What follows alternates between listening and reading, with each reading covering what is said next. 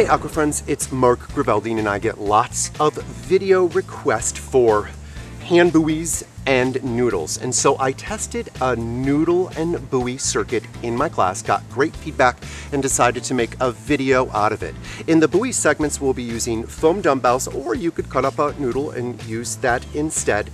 The buoy segments are intended to tone the upper body, and we'll also be doing some light cardio and a teeny tiny bit of choreography. Push your buoys down, get ready for those leg curls with triceps. All right, forearms up, down, up. Two more, and then that right arm swings forward. Right arm swings forward, right leg back. Those swing kicks in opposition. Get ready to rock on the left lead. Rocking horse left lead with a chest fly for four. Squeeze your chest. Squeeze it. In two more, you're going to slow it up. Okay, slow that chest fly up. Right leg lift. Slow, slow. Right knee comes forward. Slow, slow, and then rock right for four. Now, there's another option to these hops. You can take your feet off the pool floor, slow it up, and do a full shoot through. This is a shoot through. Feet forward, and then they can come back and touch in a rear plank or just keep off the pool floor suspended.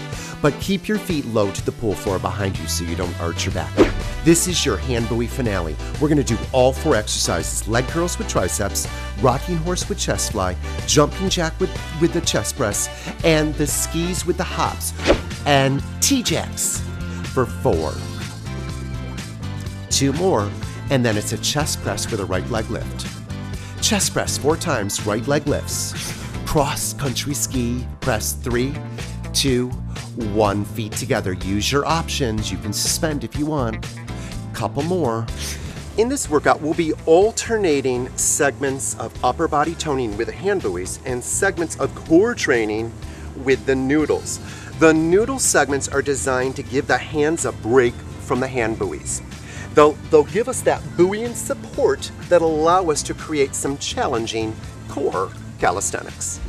Get ready for your wall taps in four, three, two, wall taps, tuck up, tap that wall, tuck in and down, tuck up, tap the imaginary wall, in, touch the floor. Get ready for the wall taps with teasers. Wall taps with teasers, it's up, out, lift, lift, in and down.